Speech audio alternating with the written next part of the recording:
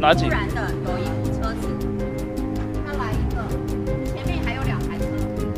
好，可是他是第三台，他是紧急的全部把回转，因为我来车来，我差一点来不及刹来，车。先到旁边讲好不好？这个不不，你要没，你要变下来，你变下来，我骗骗骗，到先先东来动，先东来动，好了，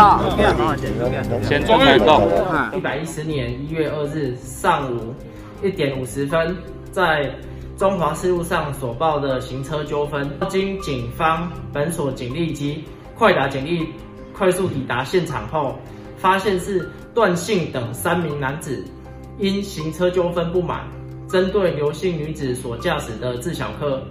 持器械加以毁损、恐吓及强制。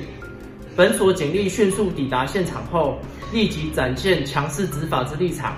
将上述三人一现行犯逮捕移送。